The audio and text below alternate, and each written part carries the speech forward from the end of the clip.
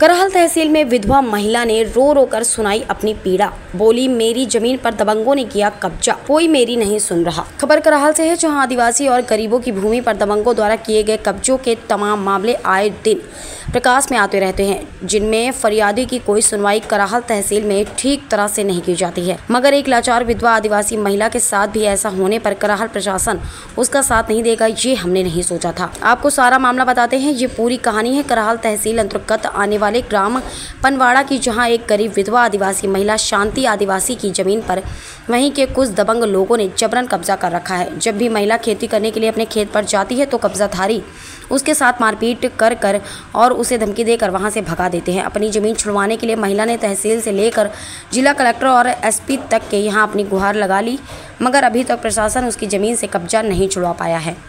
परेशान हो चुकी महिला ने रो रो कर बताया कि जब वह मदद के लिए थाने जाती है तो उससे तहसील जाने के कहा जाता है। फिर जब वह तहसील जाती है तो उसे तहसीलदार कहते हैं कि थाने जाओ।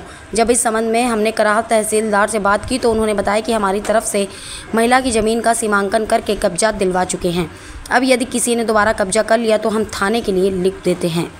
वहीं जब करहाल थाना प्रभारी से इस विषय पर चर्चा की तो उन्होंने कहा कि राजस्व विभाग से कोई हमारा साथ मौके पर चलकर हमें रिपोर्ट बनाकर दे तो हम कब्जाधारी के खिलाफ मामला ही दर्ज कर देंगे। देखिए कराहल से संवाददाता अमित कुमार श्रीवास्तव की रिपोर्ट। आ, क्या परेशानी है आपको? तहसील कैसे आई है? तहसील से आया सा हमारी ज़मीन है का कोई सुनवाई नहीं कर रही है हमारी। क्या हो रहा है? मतलब किस जगह ज़मीन आपकी? पनवाड़ ऐसा क्या दिक्कत आ रही है? दिक्कत यही आ रही है कि हमें कोई आग बजाना तो आग बज नहीं है। मारू आ रही है। अच्छा। ट्रैक्टर ले जा रही है तो ट्रैक्टर नहीं चलवा दे तो मतलब आपकी ज़मीन को क्या कब्जा कर रखा है क्या किसी हाँ, ने? कब्जे कर में जाए अच्छा शिकायत की आपने? हाँ शिकायत कर कहाँ पर? तहसीली कलेक्टर के। कलेक्टर साहब के यहाँ हाँ। की क्या हुआ फिर वहाँ से? एस डी ओ का कर दिया। अच्छा एसपी साहब के यहाँ भी कर दी? हाँ कर दिया। अच्छा क्या हुआ वहाँ से? उन्हें थाना में कागज़ आ गया। तो अब आप जाते हो तो क्या कहते हैं वो? साय हमारी सुनवाई नहीं करे।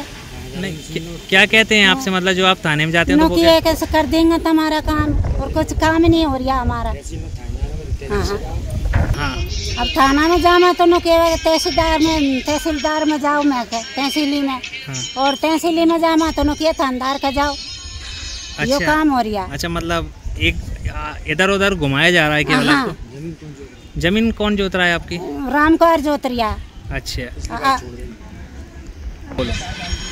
और वो पहले शिकायत करी जब तो हमारे पास वो कागज़ है है ना?